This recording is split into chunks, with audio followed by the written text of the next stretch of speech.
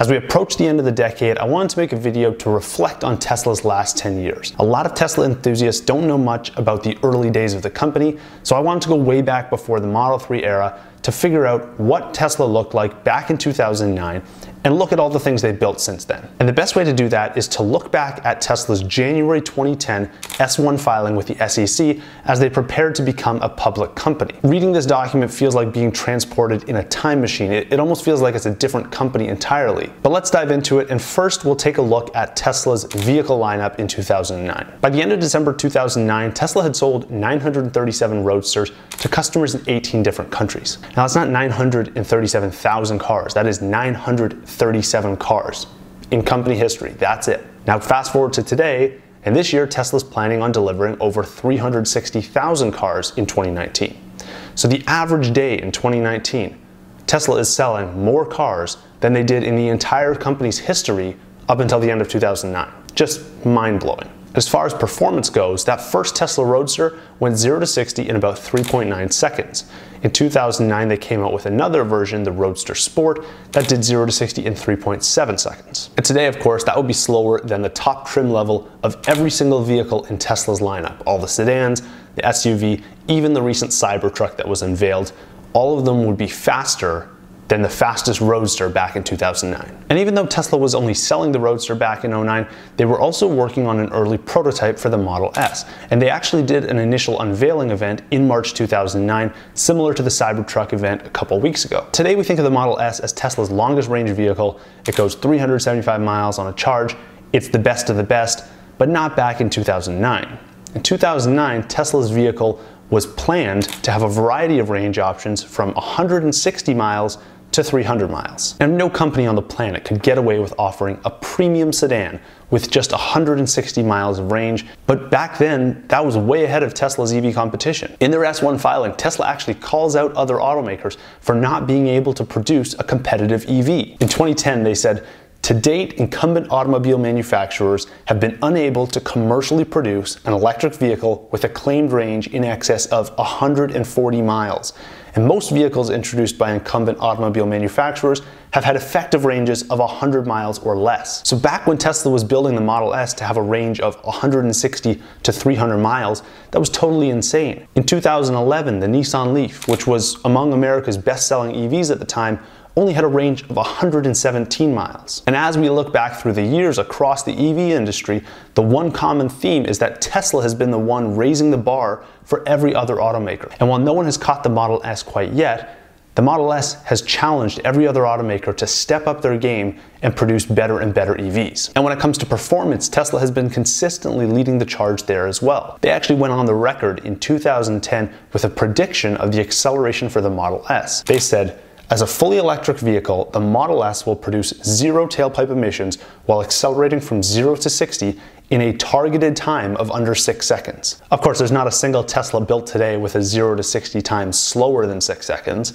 Even the upcoming Tesla Semi has a 0 to 60 time of 5 seconds without a trailer. But again, this is a case of Tesla pushing the limits of what every other EV maker thought to be possible.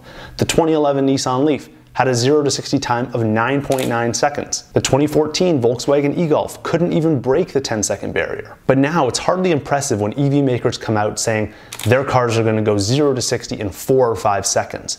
Tesla has raised that bar so much higher the performance bar is now set at 2.3 seconds. And it didn't happen overnight, but over the course of 10 years, this consistent innovation has led Tesla to become the standard in both EV range and EV performance. Now let's talk about financials. Back in 2009, Tesla did a reveal event for the upcoming Model S, similar to what they did with the Cybertruck a few weeks ago. And from it, they earned 2,000 customer deposits, each worth $5,000. So that's $10 million upfront to finance the development of the car. It's not a bad deal, but it's nothing in comparison to the $700 million of deposits Tesla had on hand prior to Model 3 development. And the 2,000 customer deposits, it's kind of funny to look back at. I mean, now we have the Cybertruck, which just got 250,000 customer deposits, and we still have Wall Street analysts panicking over fears of no demand. But this explosion in customer demand and the general hype behind Tesla as a company, it almost didn't happen. I mean, Elon has talked a lot about how Tesla in the early days, it almost failed, but this S1 filing from 2010 really illustrates that well. It says, we have incurred significant losses and have used approximately 173 million of cash in operations through September 2009. As of September 2009, we had approximately $106 million in cash and cash equivalents. So in the development of the Tesla Roadster, Tesla used up almost twice as much money as it had left over in its bank account. They did end up securing a $465 million loan from the DOE, but without that, it's very difficult to imagine Tesla being around today. Back in those 2009 and 2010 years, Tesla was actually spending $2 for every $1 in revenue it was generating. In short, the company was bleeding cash and it was happening fast. But now Tesla's cash bleeding story has lost its appeal even among Tesla bears. I mean, the company has $5 billion of cash on hand, it's been profitable in three of the last five quarters and free cash flow positive in four of the last five. And as interesting as it is to look back on Tesla's vehicle performance and company financials over the last 10 years and observe how the company has changed through the decade, I'm just scratching the surface here. There are so many more important changes that have happened throughout the company that I just can't cover in one single video. I mean, this was a team of just 514 employees at the end of 2009 there were just 71 people in the vehicle design and engineering department. But now the Tesla team's grown to almost 50,000 people, a jump of 100x, and they're building all sorts of cool products. I mean, they built the Fremont factory, the Gigafactory in Buffalo, the Gigafactory in Nevada, the Gigafactory in China. They built a solar business, they built an energy storage business. They also added some incredible features to Tesla's cars.